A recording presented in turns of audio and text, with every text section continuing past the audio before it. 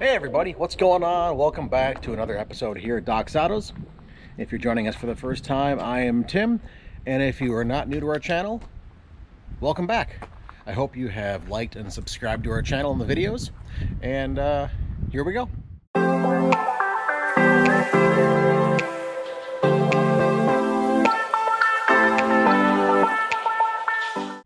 All right, so we have been still working on the shop. We've had some pretty uh, pretty bad weather uh, the week before this week. Um, it's kind of hindered us from doing much of anything. Uh, this week has actually been quite nice. So I've been outside in the afternoons um, before it gets dark, which is now an hour sooner, unfortunately. But working, uh, getting done whatever I can. Uh, last week we did have the folks from uh, Bears Overhead Door come and get the uh, overhead doors installed. So those are 14 by 14s, insulated doors. So that's pretty great. Um, we have the two entry doors that I got installed.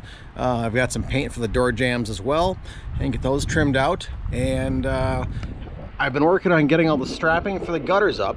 Uh, when they first, uh, when I first put them up, we had a few inches of snow and the strapping kind of buckled. So I went back to Great Western and said, hey guys, uh, we haven't gotten a lot of snow and these things are already buckling on me. And uh, they looked at it and said, oh, we'll send you out more straps. So I've got another 170, they said, 180. So I've got a number of these straps that go on the gutters. So these go on the ribs and then this attaches to the uh, to the gutter itself. I'll show you when we get up in, in the lift. Uh, but so I've got those to put on. Um, I've got roughly, without those straps, it was 117, 120 pieces of trim and sheeting to put on yet. So here's all of our gutters, uh, or our, our rake trim actually, uh, the tie into the gutters. Uh, here is more of our uh, eave trim, uh, angle trim, box of spare parts and screws or pallet of spare parts and screws. So we're really getting down to not a whole lot of stuff left. just kind of becomes tedious, especially fitting all the corners for uh, for the gutters um, and trimming. So that's uh, that's the one part I didn't want to do that I was not terribly enthused about, but we're struggling a little bit and pushing through it. Uh, but here's the soffit for the lean-to. Um, see if we can get out here and look. Oh, here's our mud we have, and we still have snow from uh, beginning of last week or two weeks ago. Anyways, uh, we still have quite a bit of mud. Uh, have been able to get up all of this uh, the rake channel last weekend. Uh, buddy came down and helped me with that. Fed him pizza and a few beers. So that was much appreciated. Uh, that allows us to get our, our rake trim on, which ties into our gutter. And let's walk around here. Uh, you can see I got one of the downspouts on. Uh, so that really trims out the corner of the building nice and gives it some definition. Um, so up there in the corner, the rake trim ties into the gutter. Uh, so everything looks pretty seamless. You don't see a standard gutter like you'd have on your home, which is really, uh, really a nice uh, design touch. Um, of course, there's a few uh, there's a few flaws in here that I've made, um, which I'm sure you might see if you're a little more experienced at this than I am. But for me, I think it looks pretty darn good. Uh, there's still some things to do like back here uh, on the uh, transition from the uh, wall and roof and lean-to right there. There's some trim to go on. Um, one thing I wanted to mention is aside from these longer panels left over from the soffit, this little pile of stuff is all the scrap trim and sheeting that I have left. And a lot of it's just angle pieces and a big amount of these long pieces here are just the uh, corner guards for the trim boxes. Um, so really, I have some scraps, corners, end pieces, and then just the, the cover panels that were um, on the, the bundles of uh, the sheeting for protection. Um, So the amount of waste out of this building is very minimal, and uh, I will likely take that to the recycler. Um, we have some of our cribbing left over from uh, the shipping and a lot of these are some 4x4 posts in there which I can use for blocking for uh, vehicles uh, campers when we go camping 2x4s uh, in there for other stuff uh, basically there's a lot of good material in there that I can reuse for other other things. Uh, hop up on the trailer see if I fall through it or not. Not yet. Ah difficult to see but up there I did get um, did get the sheeting up between the lean-to roof and the main roof. And the next step is to put in the soffit underneath. Um, so that's going to be a project for this coming weekend. I spent most of uh, yesterday up on there on my back underneath and abused my back and knees so I'm not doing that today uh, but what we are going to look at today oh that's where I fell through before. Don't walk there.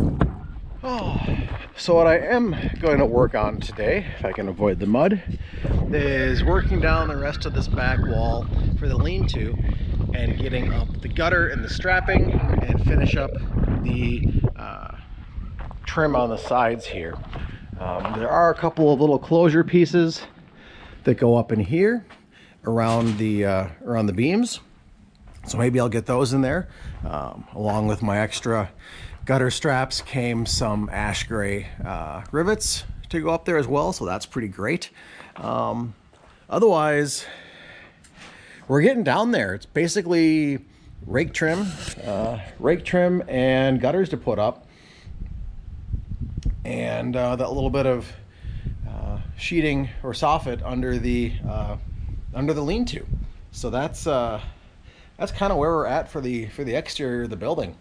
Um, interior, you know, we did have the electricians come out a few weeks ago. We got that wired in. Um, my thought is I'm going to put the horse trailer over here along where our split wall will be um, for a couple of reasons. Uh, one, I will have a better idea of kind of how big the space is to work with. Uh, two, um, that'll give us more area to put hay over here along the side wall or along the end wall here uh, behind the Bobcat. Uh, so I'm not trying to maneuver around A, the door, B, a pile of hay, and Z, a horse trailer. Uh, so move that over here.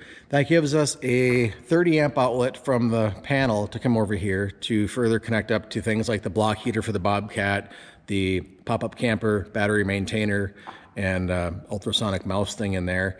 Um, so that frees up uh, some outlets over on the panel uh, for whatever else. Uh, but most importantly, there's a fridge in there.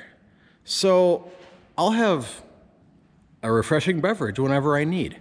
So we're pretty much kind of working through the last few bits and parts of this here. Um, we're quite happy. We've got a couple of days of nice weather here, so I'll be out here all weekend, pretty much sun up till sundown, uh, working on stuff. Uh, but over on the shop side, we've got the girls tucked in for, for the winter here. Uh, they'll end up getting moved a little more back towards the back of the building.